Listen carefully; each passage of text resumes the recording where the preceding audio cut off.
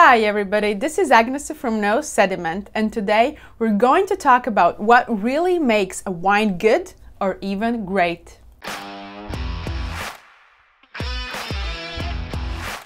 First of all, I would like to point out that good or even great wine means different things to each of us, and sometimes even different things depending on the situation. For example, some might call wine good because it has no faults, in fact, I talk about most common wine faults in one of my early videos. I will link it here. But good and clean wine does not necessarily make it great, and probably it will not score many points from critics on its own. In my Masters of Wine Studies, we follow a simple rule to discuss the quality of wine, which is balance, intensity and concentration, complexity, and length. I will break down each of these four factors and in the end I will discuss two additional ones which also contribute to the quality but not necessarily always.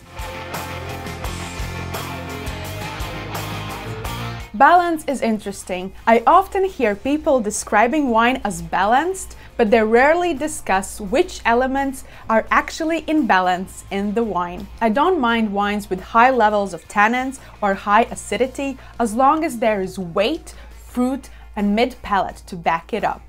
Likewise, I don't mind oak aging as long as it's not overpowering the fruit and higher alcohol in wines as long as it is not the only element I feel on the nose or palate. And I am strong believer that great wine tastes great at any stage of its development. Meaning if the tannins are high, harsh and overpowering the palate, they will not probably smoothen up with years and allow fruit to shine. Fruits will most likely fade, while tannins will continue to scrape your tongue and cheeks. While good quality young wine might seem a bit nervy and tense, you also get that depth and intensity that will unravel with years in the bottle.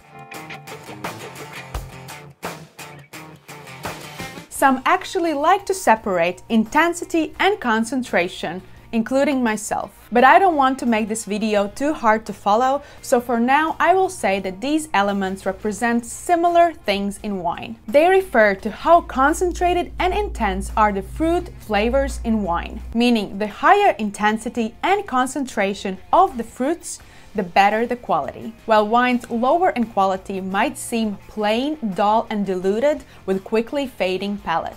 Highly concentrated wine usually will show greater length and capacity to age.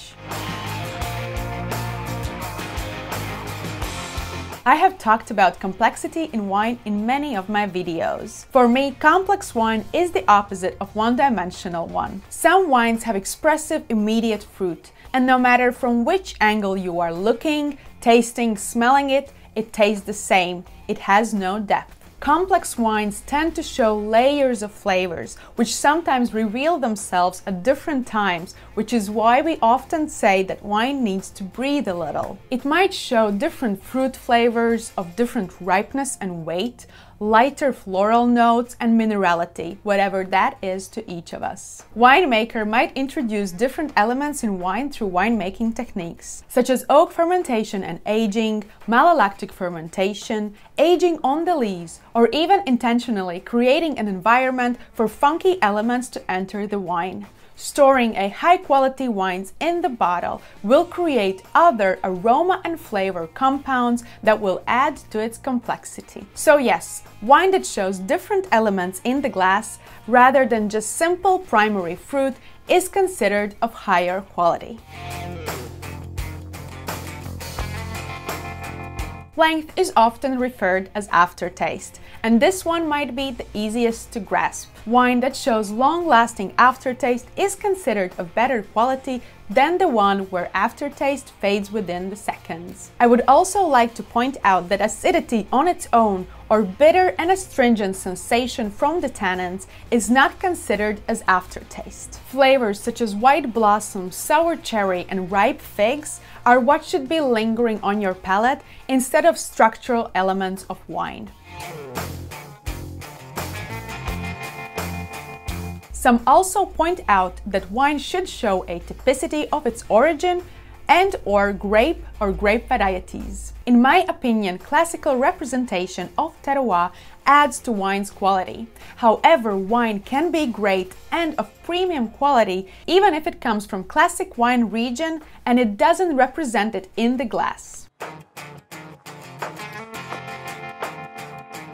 Potential to age is one more controversial factor which people like to consider as contributing part to the wine's quality. Yes, wine that not only can withstand test of time in the bottle without losing its quality, but even develop new aroma and flavor elements, thus becoming more complex, is considered a great quality wine. But there are high quality wines that are meant for immediate consumption and will not age well let alone become more complex. Does that mean that they are inferior to those that can age? I think not.